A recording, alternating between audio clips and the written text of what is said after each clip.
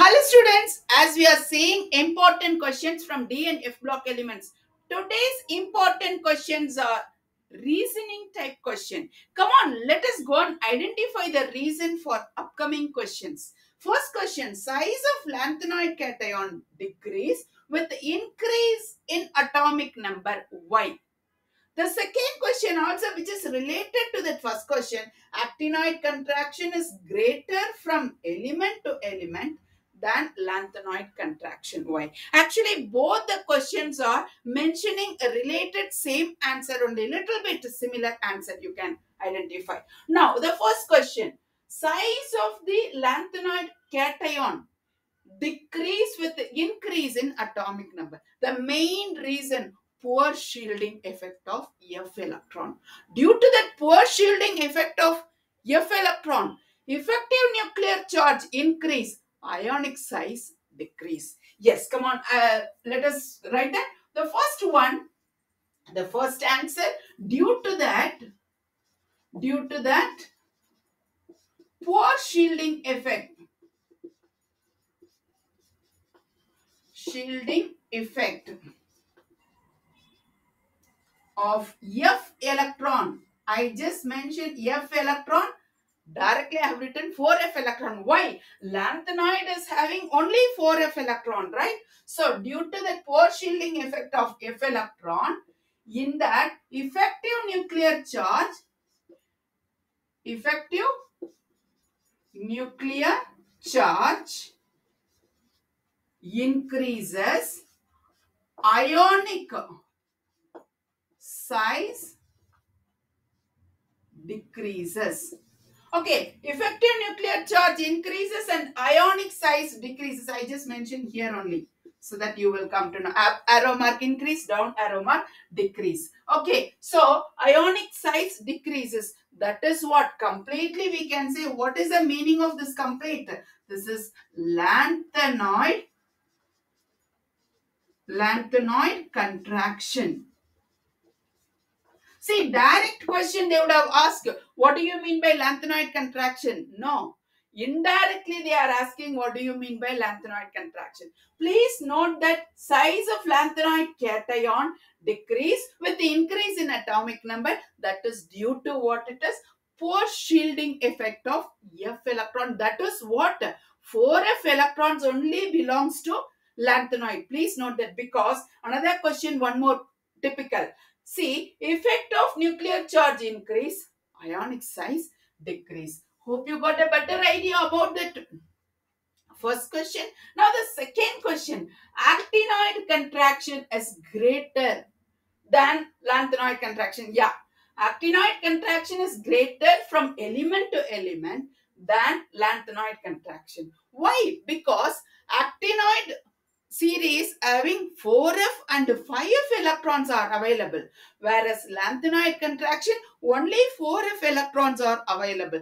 That is what actinoid contraction is greater from element to element than lanthanoid why? Because there is 4f and 5f electrons are there. Where? It is there in the actinoid series. Yes that is due to what it is?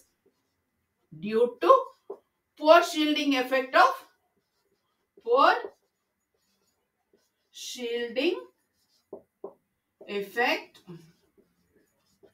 of 4f electron and 5f electron in actinoid series. Actinoid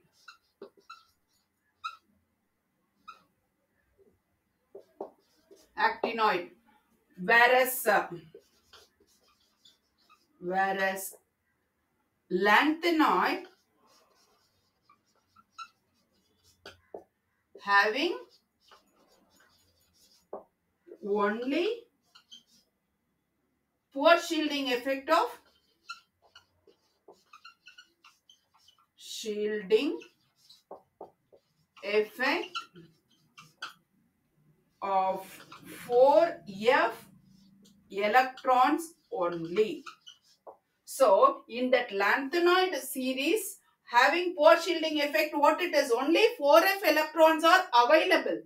whereas in actinoid series 4f electrons and 5f electrons are available available so that is the reason actinoid contraction is greater from element to element hope you got a better idea about these two questions and what do you mean by actinoid series or what do you mean by actinoid contraction you can write this answer due to the poor shielding effect of 4f electron and 5f electron in actinoid so that actinoid contraction is greater from element to element.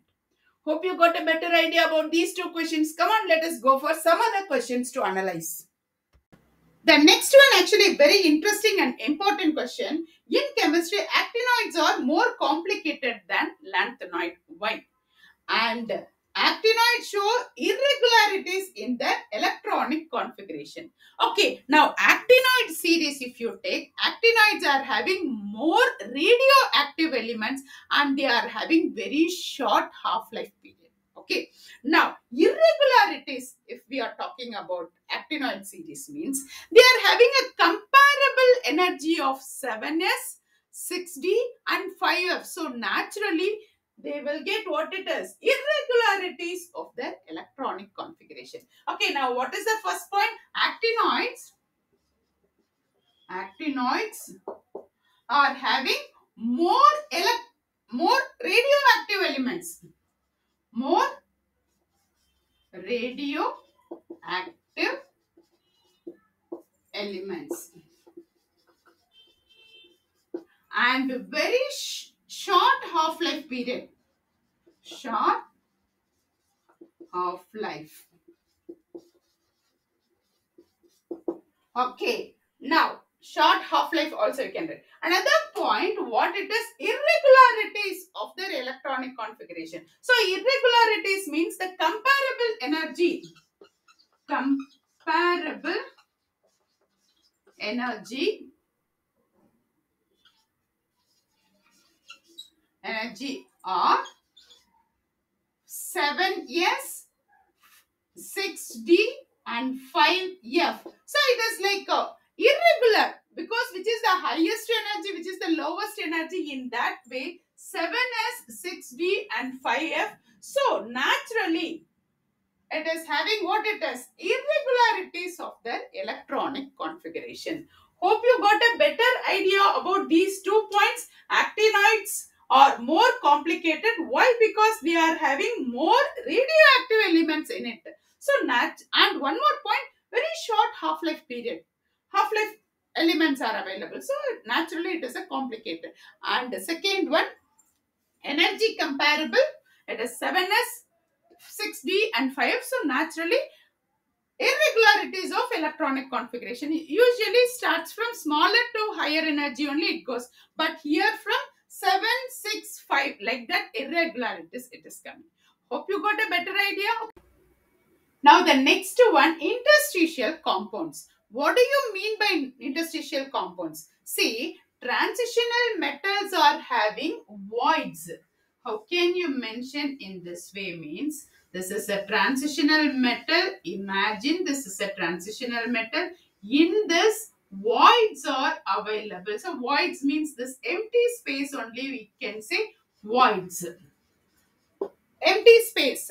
So in this voids, smaller atomic radii like carbon, nitrogen, boron, hydrogen which is going to occupy in that voids. So that is called interstitial compounds. Example, Fe3H TIC and even we can say steel also. Actually, it is a non-stoichiometric compound. The composition is not fixed in a proper ratio? And it is actually very less malleable and ductile. It is very harder only, but it is very less malleable and ductile. Hope you got a better idea. Okay, in transitional elements, transitional metals. Metals, voids are there. Voids are available. Okay, so in that voids, in that voids okay uh, like smaller atomic radii like smaller atomic radii radii which will go and occupy okay so that point which is called trans interstitial compounds. And it is a non-stoichiometric and actually non-stoichiometric means that composition it's not fixed. Less malleable and ductile and it's very hard only. Okay hope you got a better idea. And the examples these are all the point you can mention. Okay now we are going to see the misch metal. What do you mean by misch metal here misch metal means generally it is a alloy of cerium. Okay cerium 25 percentage we can take and the rest of that lanthanides and iron up to 5 percentage. And traces elements like sulfur carbon uh, calcium aluminium these are also it is available. And it is actually we can say it is a pyrophoric material. It is used for lighter flints. Yes. Okay now this is what it is. Alloy of cerium. How much percentage? 25 percentage. And other lanthanoids also also okay now iron iron up to 5 percentage. And traces like traces like sulfur carbon calcium aluminium. So these are all the materials also available in this alloy. And this is pyrophoric material pyrophoric material. And this is what it is. It is used for it is used for um, lighter flames. Lighter flames. Hope you got a better idea about that misch metal. Two mark question. You may get it into interstitial compounds and misch metals here another one more important question. Write the difference between transitional elements and p block elements. They mention with reference to variable oxidation. They mention which one we have to give the difference between. So oxidation only uh, variable oxidation state. So transitional elements elements and p block elements. Okay, transitional P block elements, variable oxidation state. Variable oxidation state, it is differ by plus 1. Where it is variable oxidation state? Variable oxidation state differ. Differ by plus 2. Okay, and P block elements oxidation state, actually it is lower lower due to inert pair effect. Due to due to inert pair effect. Effect. Okay whereas here? Higher oxidation state? Higher oxidation state. Here lower oxidation state. Okay here higher oxidation state. Which is having higher oxidation state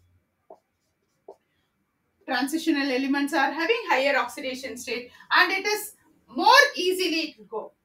More easily. Hope you got a better idea about the difference between transitional elements and p block elements? Okay now let us go for some other important question. The next important and interesting simple question compare the chemistry of lanthanoids and actinoids. Every time, evergreen question, compare or difference, both are similar answer only. Okay, with special reference, they themselves have given electronic configuration, atomic and ionic size, oxidation state, chemical reactivity. Actually past those questions and all we have gone through but directly they are asking. Come on let us go and analyze it. Here lanthanoids lanthanoid and actinoids. Actinoids. Okay so lanthanoids and actinoids here.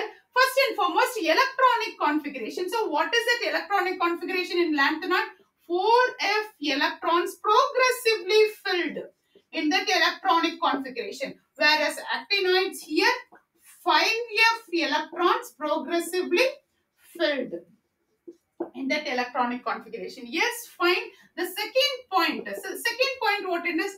Ionic and atomic size. Atomic and ionic size decreases from left to right. Both are decreases from left to right okay? Right atomic and ionic size decrease from left to right from left to right. Both are in the same only but comparatively lanthanoids actinoids decreases more. See actinoids decreases more. Why? Because 5f 5f electrons 5f electrons 5f electrons poor shielding effect of 5f electrons. Poor shielding effect of 5f electrons. Right? Hope you got a better idea about these two points. Now third point. What it has mentioned oxidation state generally lanthanoids are plus 3 oxidation states only. Very few elements are plus 2 and plus 4 oxidation state. Whereas here uh, actinoids are plus 3 to plus 7 oxidation states. Okay now chemical reactivity. Actually here lanthanoids are less reactive. Actinoids are more reactive. Okay lanthanoids are what it is? Fourth one? Yeah it's actually less reactive due to high high ionization. Due to high ionization energy. Whereas here actinoids are more reactive. More reactive due to low ionization energy. Hope you got a better idea about all these points. Yes, I hope you got complete idea about D and F block elements. What are the important questions? See, mainly you please go through the redox reaction, complete the following redox reaction and preparation of KMnO4 K2Cr2O7 it's a mandatory definitely those questions will be applicable for the board exam. Okay please go through thoroughly. Thanks for watching. And next class let us go for the solution important questions because solution in that physical chemistry it's very interesting. And there are so many important questions are there. In our next session we'll meet in that solution chapter. Thanks for watching and please subscribe this channel and hit the bell icon so that you will get all the notification. Like share subscribe. Thanks for watching